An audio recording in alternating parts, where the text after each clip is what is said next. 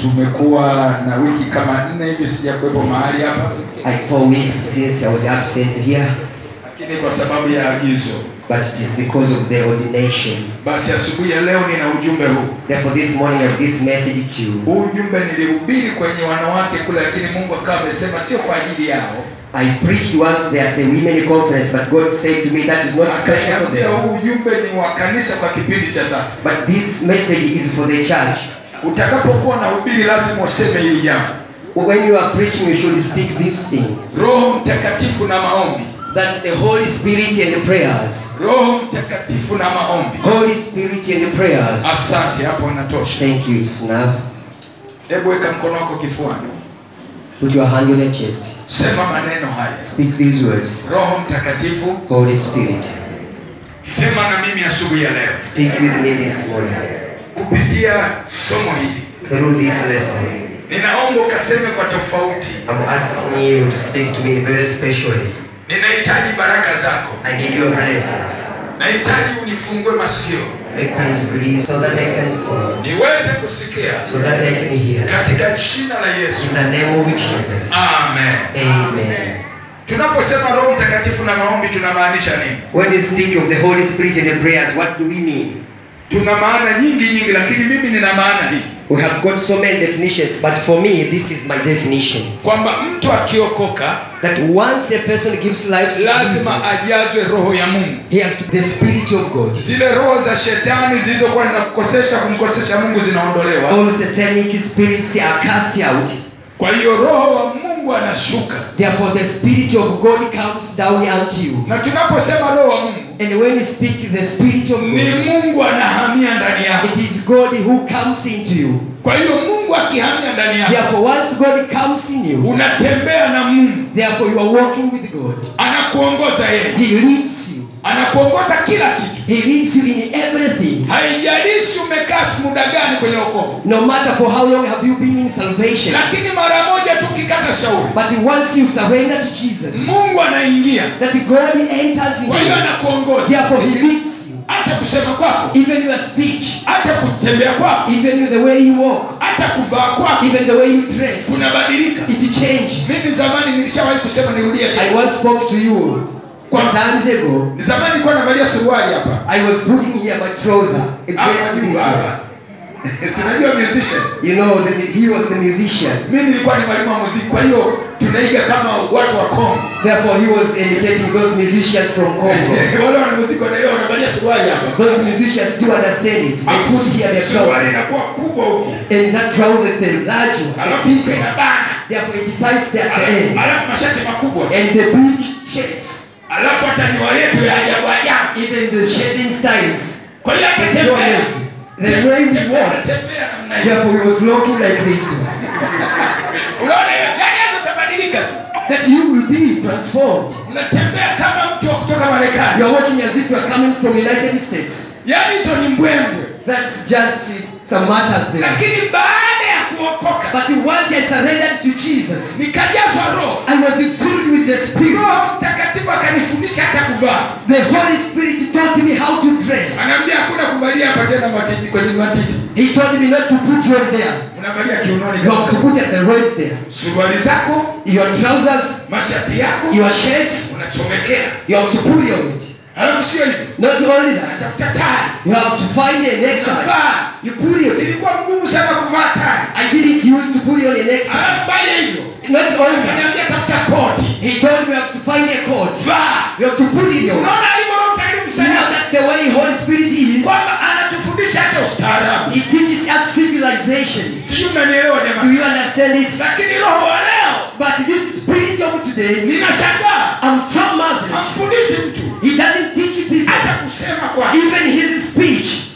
atazungumza kwa utaratibu he will speak in civilization. hawezi akatamka tu ovyo ovyo He just can't utter in vigorous way sikiliza haya mambo hayafundishi shuleni These things are not taught at school. unafundishwa kutoka juu You are taught from above. yani hata kabla hujasema unafiguro mtakatifu anakuambia hilo usiseme hili sema Even before you have spoken, it's the Holy Spirit who orders speak or not to speak. kwa hiyo huwezi ukazungumza utumbo Therefore, you can't speak anything wrong. huwezi ukazungumza vitu vya kujeruhi watu You can't speak something that hurts people. vitu vya kuumiza watu mioyo The things that hurts people their hearts. kwa sababu watu hawa ni wa mungu Because these people are of God. kwa hiyo hata kusema kwako Therefore, even your speech, unasema maneno ya hekima you are speak the very wise words, maneno ya faraja the well comforting words, maneno ya kutia moyo the words that encourage. huyo ndio mtu aliyeokoka aliyejaro That's the kind of a person who is filled with power. kama alikuwa na maneno ya kukatisha tamaa na kuchosha watu If we had the words that made people to lose hope, analeta Discourage them. anatoa yale maneno he takes them away, Anayatupa mbali he puts them away, anayeweka maneno ya kutia moyo na faraja he puts the comforting and the encouraging words. huyo ndio roho mtakatifu That is the Holy Spirit. roho mtakatifu akatishi tamaa watu Holy Spirit does not lose hope people. Hakatishi tamaa He doesn't make people to lose hope. hajeruhi watu. He doesn't hurt people. hata kama ni neno la kuonya Even if it is the warning word, litakuja litaingia kwa mtu na kumbadilisha. it will come to a person and that person will be transformed by that word. sasa sio hivyo tu. Not only that, lakini kitu cha kwanza huyu mtu akijazwa roho mtakatifu. The first thing when this people is filled with the Holy Spirit, anampeleka kwenye shule ya maombi. He's bringing him to the school of prayers. ndio maana leo nataka nizungumze roho mtakatifu na maombi This is why today I want to speak about the Holy Spirit and the prayers. ukiona haujakaa vizuri kwenye maombi If you see that you are you are not properly in prayers, bado hujamkaribisha huyu you have to know that you haven't yet invited the Holy Spirit. sasa mfano mkubwa ni lazima tumfuate kiongozi wetu mkuu yesu kristo. Therefore, the best example is that we have to follow our main leader who is Jesus Christ. Alipojazwa roho mtakatifu. When he was filled with the Holy Spirit, kitu cha kwanza. The first thing, kitu cha kwanza kabla mambo yote. The very first thing before all things, alimwambia wewe yesu he told you, Jesus, nataka ufunge siku arobaini. I want you to have fasting for 40 days.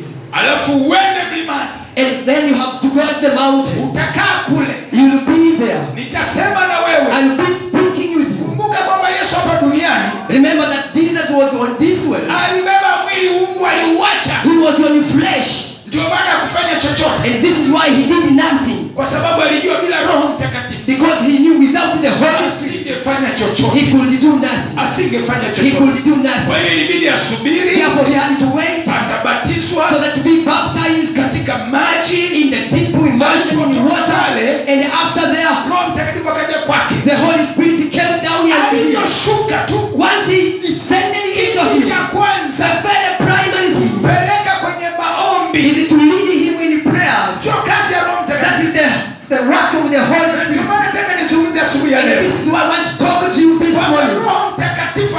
akiingia That once the Holy Spirit comes in you, anampa mtu kazi He gives a, a, a, a, people, a people a work to do. anampa wajibu He gives him a responsibility to do. tusome maandiko luka ile sura ya 4 mstari wa kwanza na wa pili Let's read the scripture from the Gospel of Luke, chapter 4, verse 1 to 2.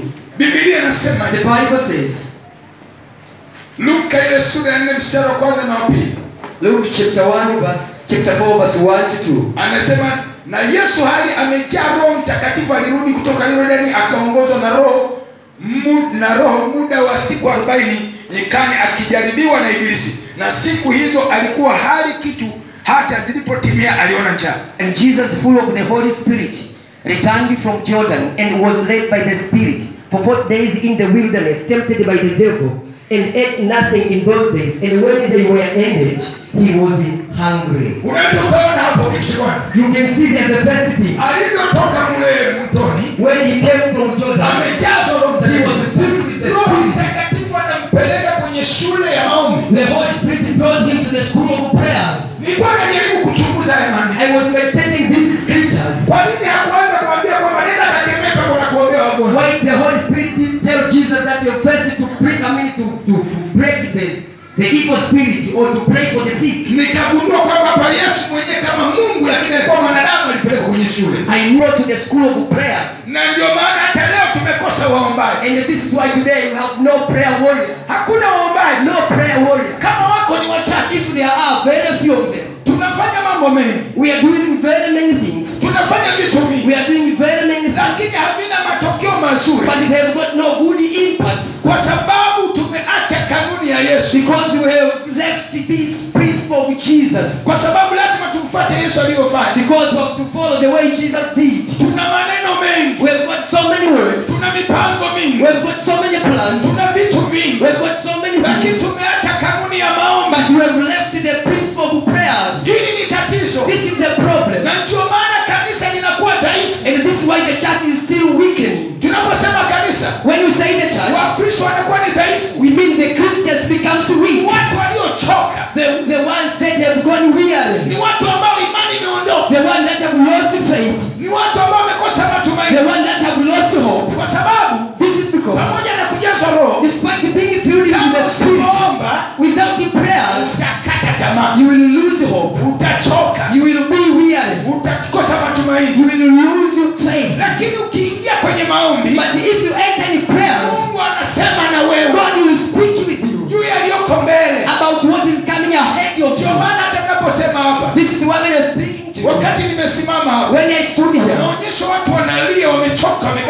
Shown that people are weeping. They are going weary. They have lost hope. hawana matumaini They have no hope. wanaona kama sasa wokovu kama ni mgumu vile And if that the salvation is a great burden to them. kwa sababu watu wana matatizo Because people are full of problems. watu wana matatizo ya People are problems of life. pesa hakuna Finance problem.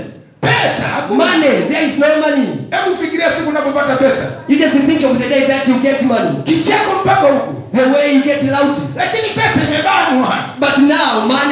there. sasa utaipataje Therefore, how are you going to get it? bila maombi Without the prayers, utaiona tu hivi you will just see it, utaipata but you can't receive. lakini maombi But prayers yanaleta fedha brings all collects money to come unto you. sikiliza Listen. naposema inaleta pesa When I say the money comes sio kwamba you, inateremka it doesn't money just comes down in faith. inakupa mipango ya kufanya It gives you the plans to do.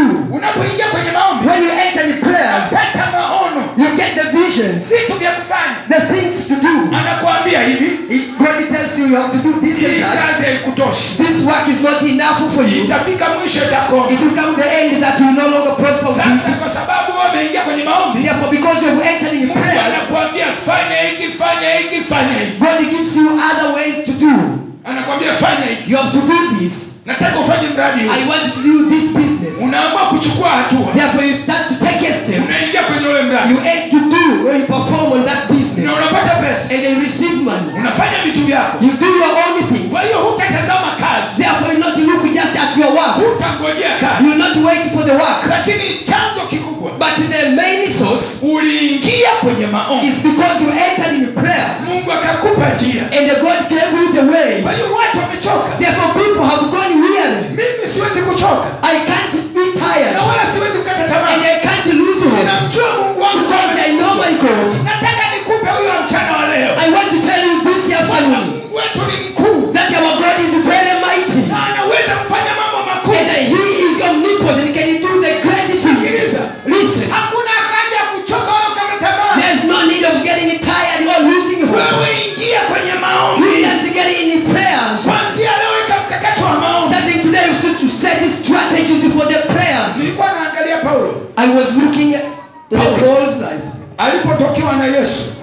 Jesus came to kitu alipojazwa roho mtakatifu When he was filled with the Holy Spirit, aliingizwa kwenye shule ya maombi he was brought to the school of prayers. matendo ile tisa mstari wa nne hadi wa tisa utasoma kwa wakati wako The Acts chapter 9, verse 4 to 9.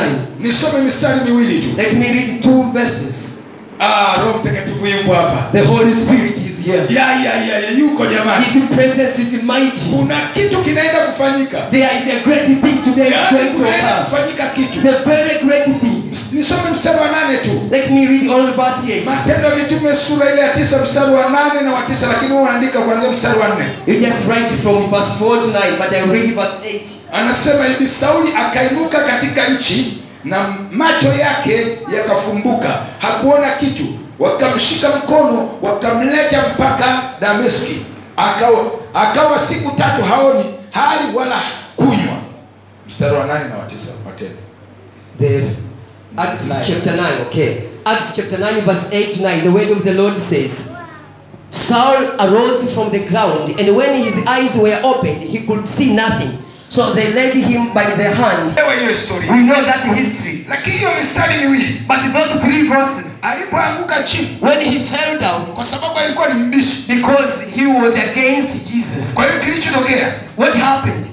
mungu akampiga upofu That God blinded him. lakini kawa naangalia maneno haya But I was looking through these scriptures. anasema akawa siku tatu haoni There for three days he was not, I mean, he had no vision. hali wala kunywa He had no sight. He was not eating nor drinking. Kwa nini Why? alikuwa anaingizwa shuleni Because he was brought to the school of prayers.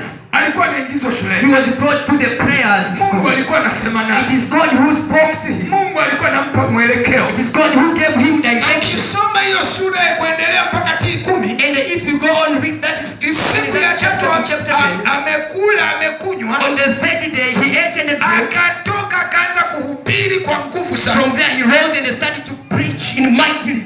Na hata mpaka kawafadhaisha wayahudi And since there, even those Jews were so marveled by the power he had. kwa hiyo Therefore, mfungo huu therefore, this fasting, ulilazimishwa na mungu it was just forced by God himself. unajua usipotaka kufunga You know, if you don't want to fast, you allow it is easy to you so that you can't eat for three or seven days. Si utaki kufunga This is because you hate to fast. kwa malaria itakubana Therefore, malaria is going to attack you. ukiletewa chakula ah, And once the food is brought to you, you will be vomiting out. utafunga kwa lazima You will be fasting by force. sasa usifungishwe kwa lazima Therefore, it's not good to be fasted by God by force. labda nieleze kidogo ushuhuda nimewahi kurudia tena kwa faida ya wengine Let me give to you this testimony, although I once spoke to you. sikutegemea kuwa mhubiri au mwinjilisi I never expect to be the preacher or evangelist or the.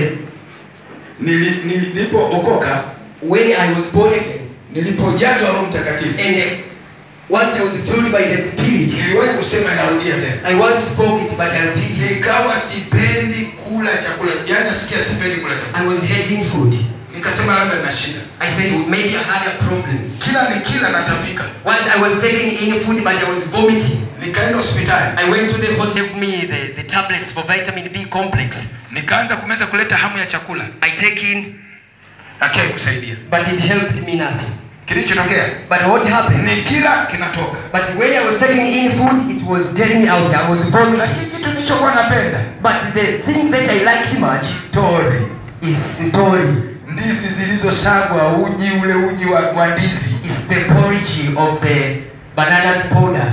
huyo ndio nikinywa Therefore, when I drank it, ndio najisikia vizuri I felt very good. kwa hiyo nikasema sasa Therefore, I said from now, nitatumia huu I'm using this wiki ya kwanza for the first week, wiki ya pili for the second week, wiki ya the third week. lakini na nguvu But I was strong enough. alafu kilichotokea And what happened? ilipofika wiki ya pili When it came to the second week, namwona mtu mpaka kwenye utumbo I saw a, a, a person even to the intestine. yaani naambiwa kila kitu I was told everything about that people. hapo sio mwinjilisi wala sio mchungaji By then I was not an evangelist to know a yani preacher. nikikutana na mtu Once I met with a person, namweleza habari zake zote I was telling him everything about him. mpaka watu wananikimbia Some people were fled, were running away from me maana nilikuwa natoa siri za watu because I was giving some people secrets. unajua nataka niwaambie You know what to tell you? kufunga kunafungua macho ya kiroho You know, fasting opens the spiritual eyes. sikilizeni Listen,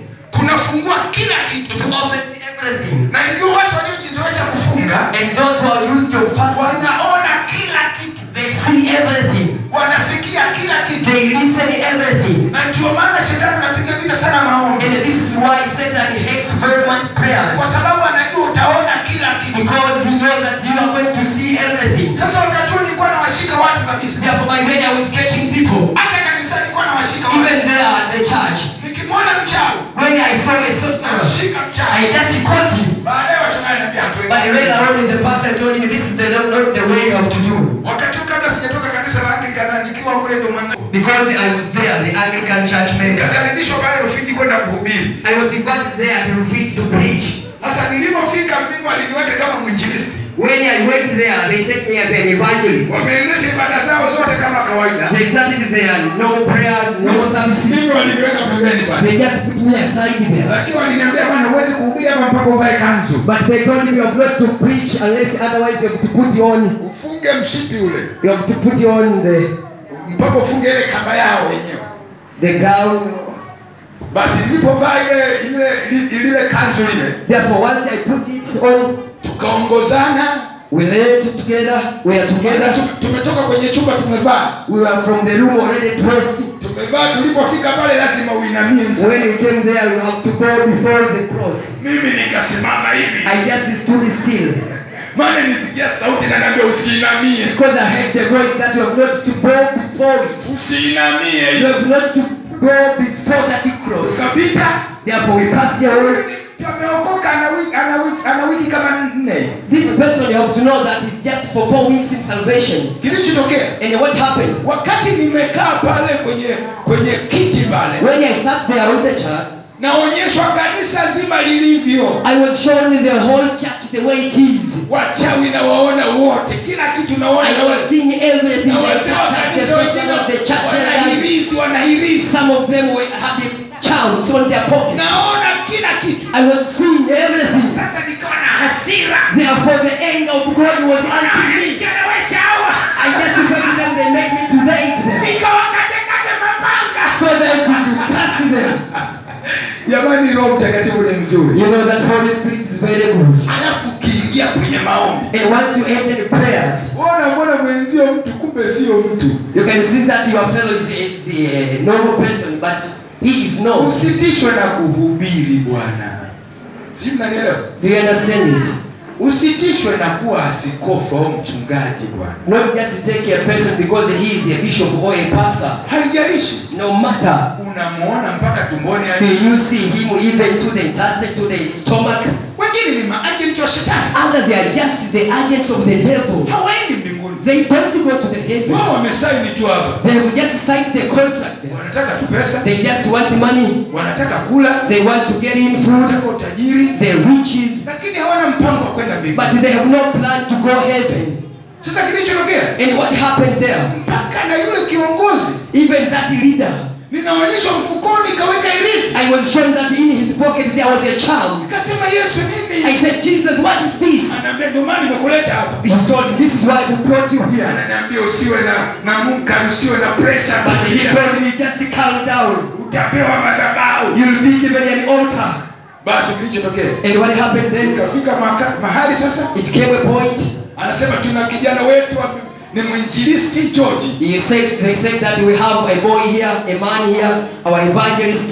amekuja Evangelist kutoka mbeya He is coming from Mbeya. ametutembelea He has visited us. tumesikia habari za huko mbeya kwamba anaponya wagonjwa anaombea watu We've heard about him there from Mbeya that he heals people and praying for the sick. sasa tunaye hapa leo Therefore, we are with him today. unajua nilivyoshika ile kipaza sauti You know, once I took that microphone, nikawaambia jamani I told them, brothers, mimi nilichokuja hapa kuhubiri habari za wokovu. what I have come here to preach is about salvation. bila kuokoka mwezi kumwona mungu Without salvation, you can't see God. humu ndani kuna wachawi.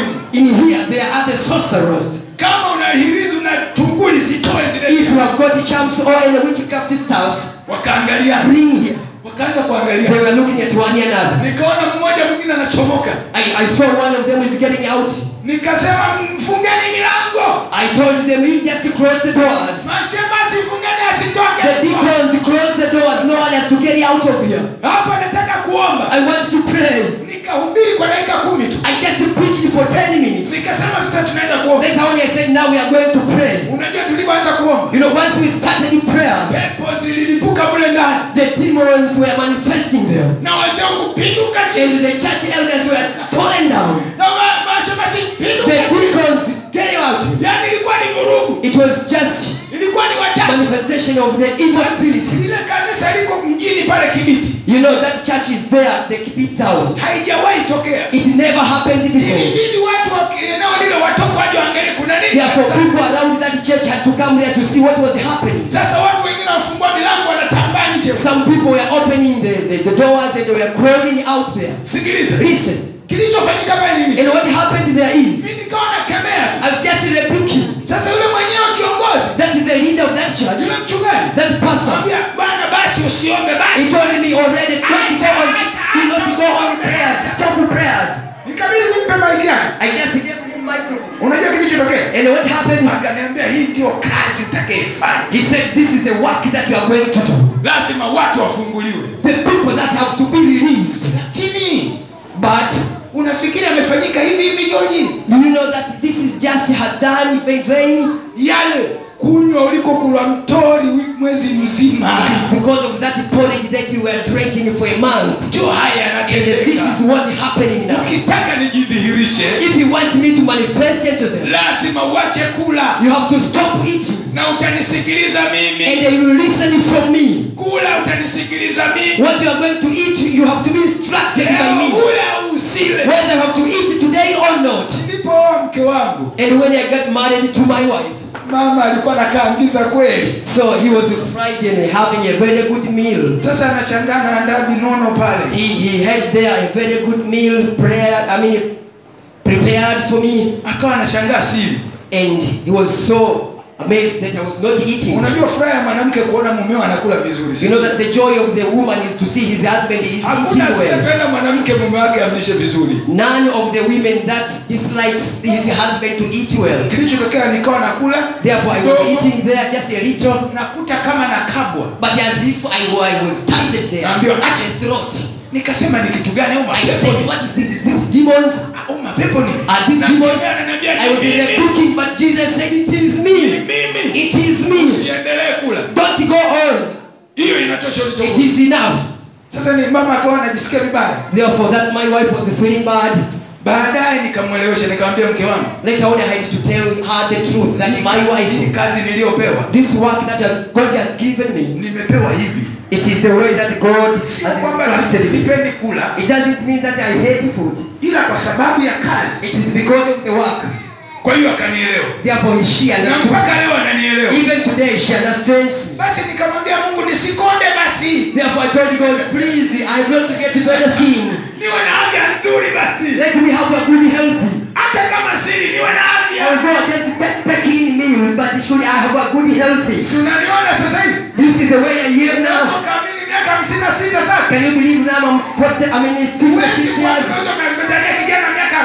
You can think as if I'm 40. sikiliza Listen. lakini nakueleza nini hapa ninachotaka kujenga But what do I want to, to, to bring you? maombi kurejesha ujana wako hata mwili wako magonjwa magonjwa The prayers restores your youth. Even the diseases are taken away. kufunga pia kunaondoa magonjwa ambayo yanasababishwa na vyakula tunavyokula Fasting takes away all the diseases caused by the food we are taking in. ukizoea kupakia tu kupakia tu kupakia If you just use of just eating, eating and eating, ndio matokeo yake ma pressure. as a result you suffer from hypertension or hypertension matokeo yake kisukari and then diabetes matokeo yake sijui magonjwa tuma na vitu vingine vingi and the other diseases caused by that food you are taking in. kwenye kitabu changu cha uponyaji wa kimungu utayapata. In that book of mine about the divine healing, you are going to see it. leo nitamaliza mapema sana. I will finish yani it very mpaka na robo tumemaliza. By a quarter to twelve, then ninachotaka kujenga hapa nini? What I want to, to, msikilize mungu. You have to listen from God. Watu hawataki kumsikiliza mungu People hate to listen from wengine wanaambiwa nataka siku arobaini Some are told by God that you have to fast for 40 days. wengine wanaambiwa siku thelathini Some are told to fast for 30 days. usingoje maombi ya kanisa Do not wait for the church prayer. I mean, start fasting. huyo roho mtakatifu aliyekuambia anajua That the Holy Spirit who has instructed me, He knows everything. hebu tuangalie nini leo nini leo kwa nini tuangalie kwa nini leo watu hawa hawana hatuna watu wa maombi. Amwekea mikono akasema ndugu sauli bwana amenituma yesu yeye aliyekutokea katika njia uliyoijia upate kuona tena ukajazwa na roho mtakatifu. Mara likaanguka machoni pake kama magamba akapata kuona akasimama akabatizwa akala chakula na kupata nguvu. Amen. From chapter 9, the book of Acts, verse 17. So Ananias departed and entered the house, and laying his hands on him, he said, Brother Saul, the Lord Jesus, who appeared to you on the road by which you came, he sent me that you may regain your sight and be filled with the Holy Spirit. And immediately some things like scales fell from his eyes, and he regained his sight. Then he rose and was baptized. And took food and was strengthened. unaweza ukaona hapo baada ya roho mtakatifu kuwekewa mikono You can see there, after he was laid the hands, kuwekewa mikono alipowekewa mikono after he was laid the hands by Ananias, roho mtakatifu akashuka the Holy Spirit came down. vikaanguka vitu kama magamba Some things like scales were taken away from his eyes. unajua kuna watu leo hawaoni You know, some people today do not see. Kama huoni If you don't see, macho ya rohoni the spiritual eyes ni mbaya sana is very bad. ni mbaya sana It's very worse. sana Worse. ni muhimu tuone It's very important that we should see. usimwamini mtu hata kama anasema bwana asifiwe Do not believe to a person even if he said, Praise be to the Lord. si mnanielewa Do you understand, you brothers? nazungumza hivi usitishwe na bwana asifiwe Do not be threatened or be scared by praise be to the Lord. Usitishwe na miujiza na ishara Do not be marveled by the signs and wonders. lazima uwe connected na yule mchungaji na yule mtumishi You should have the spiritual connection with that servant of God or that pastor. muulize mungu huyu ni wako huyu You have to ask God, is this your servant or not? sio kila mahali unakokwenda wanapokea unapokea Not everywhere you go, you just receive and receive. wengine ni maagent wa shetani Others are the satanic agents. Sikiliza Listen. nazungumza kwa uzoefu I'm speaking it by experience. kwamba katika siku za mwisho That in this last years, watu wasipokuwa na macho if people don't have the spiritual eyes, watazolewa watazolewa sana they will be taken away from the true faith. na matokeo yanapelekwa kuzimu And as a result, they are going to be brought to the hell. wanaunganishwa na They are connected to the Hades. na matokeo yake ni mateso And as a result, is the persecution. wakifikiria ni mungu As if they think it is God. lazima tuwe na macho Therefore, should should have spiritual eyes. sasa iko athari ya mtu asipojazwa roho therefore, there are some impacts or the effects of not being filled by the Spirit. kwanza The first loss, mojawapo one of the kama impacts. hajajazwa roho mtakatifu hajajazwa nguvu za roho mtakatifu If someone is not filled by the power of the Holy Spirit, dhambi na vishawishi na majaribu vitakufuata the sins, transgressions, and temptations will be around you. luka 4 mstari wa kwanza hadi 15 Luke chapter 4, verse 1 to 15. hatutasoma andika tu athari yake ni hii usipojazwa nguvu za roho. The impacts of not being filled by the power of the Holy Spirit. dhambi itakuandama Transgressions.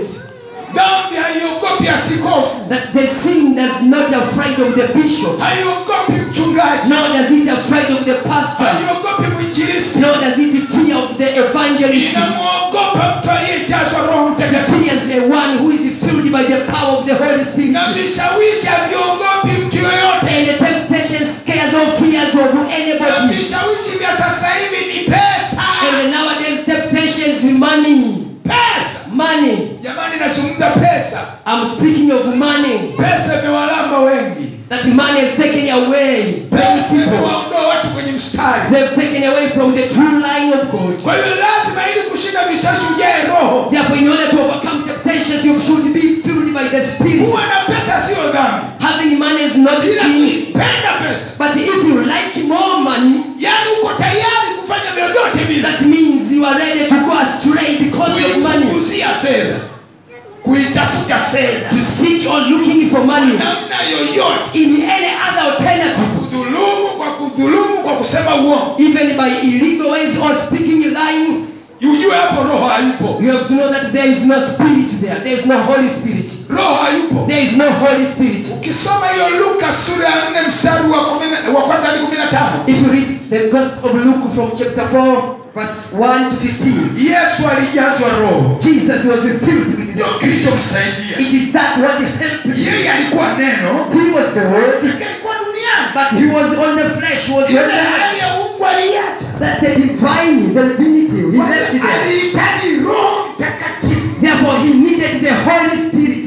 ndio maana alipokuja shetani. And this is why when the devil came into him, akamwonyesha vitu vya dunia hii he showed you all the wealth of the world. ukisoma mstari wa tano hadi kumi hadi wa saba If you read from verse 5 to 7, utaona alimwonyesha miliki zote za dunia na vitu vyote he showed all the wealth of this world. akamwambia unaviona hivi He told to Jesus, Do you see all these? majumba haya The houses, magari the vehicles, na pesa and the money. ukivisujudia vitakuwa vyako If you bow before me, all are going to be to you. roho mtakatifu akamkumbusha It is the Holy Spirit that reminded Jesus kwamba imeandikwa msujudie bwana mungu wako peke yake that it has been written you have only to fear or worship the Lord your God only. vitu viwili vya muhimu sana The very important two things Ya neno la mungu be filled with the word of God. jaa neno la mungu Be filled with the word of God. You have to know the way. Fahamu neno la Mungu. You have to understand the word. jae roho mtakatifu Be filled with the Holy Spirit. sasa hivi vitu vinategemea. Therefore, these two things depend on one another. kimoja kikipungua If one is lacking,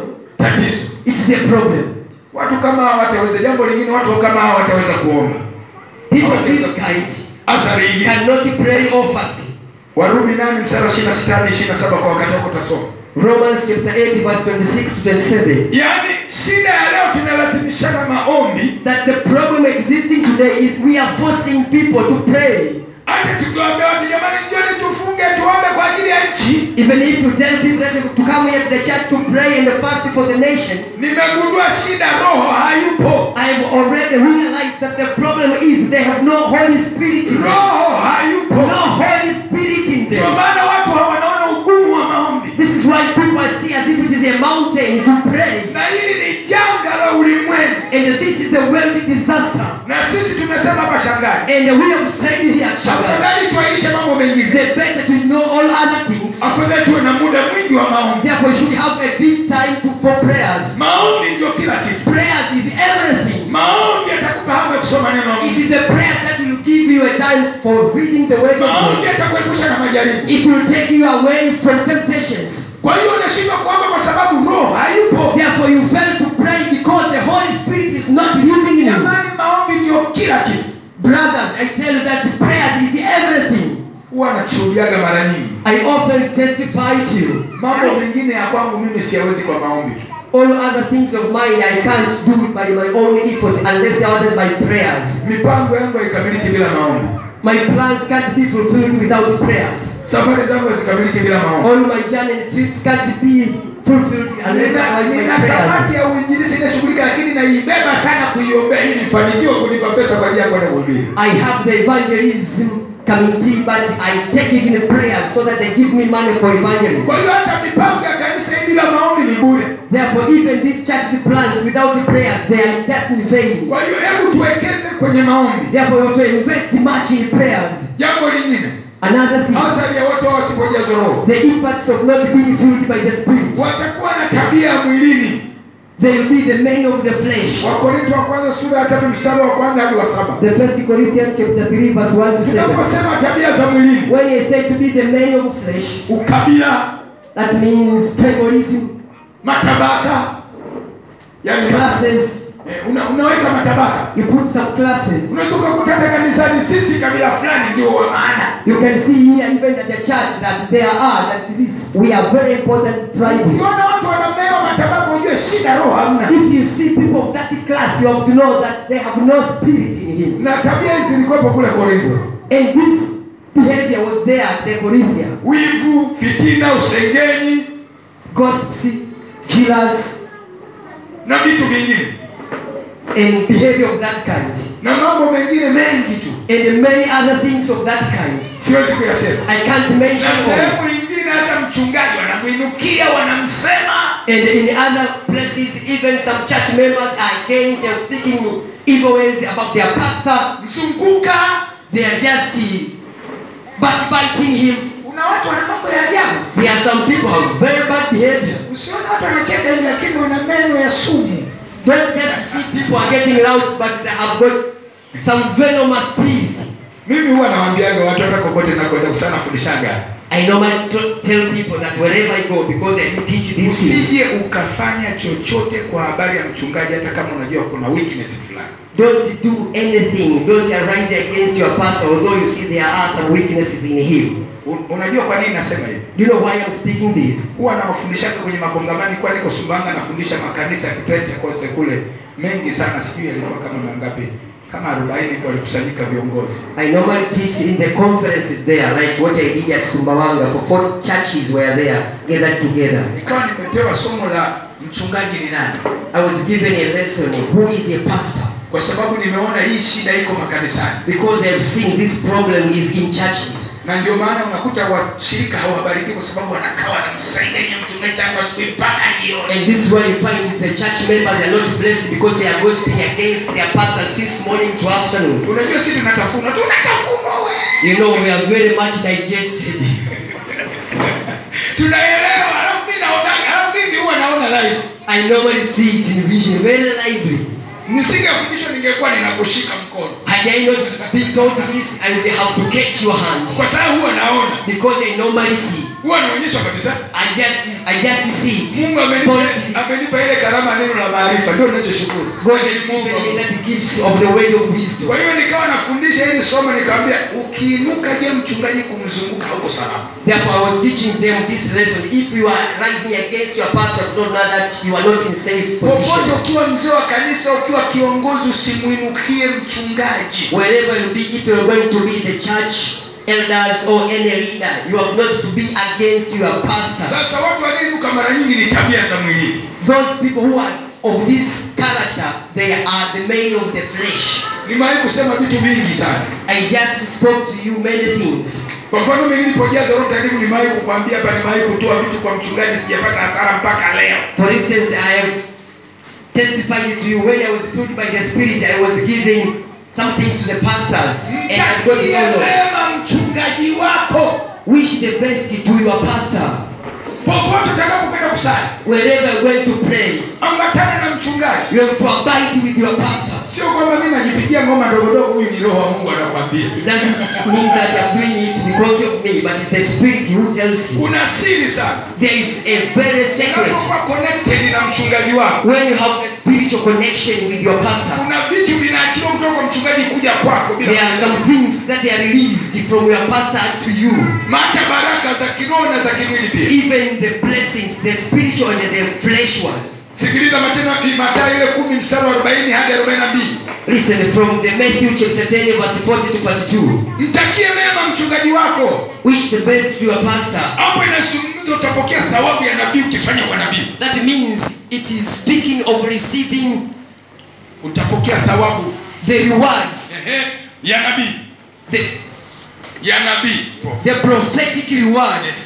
Utapokea zawadi ya nabii. You will receive the prophetic rewards, na utapokea malipo hata ya kimwili pia. Even the, the rewards of the world. matokeo ya mimi kuwa hivi The results of me to be kwa sababu nilifanya vizuri kwa mchungaji wangu Because I did the best to my pastor. kwa hiyo uwe na kawaida ya kuthamini watumishi wa mungu. Therefore, you should have the tendency to respect the pastors or the servants of God. sasa ukijazwa roho Therefore, when you are filled with the Spirit, utampenda mchungaji you love your pastor. utampenda mshirika mwenzio You love your church, your fellow church member.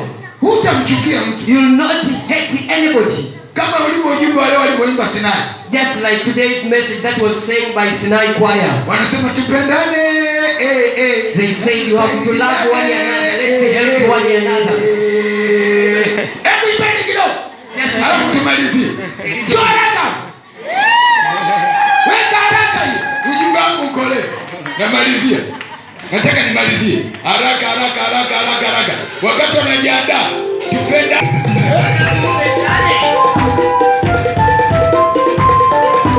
Eh, nataka roho ashuke hapa.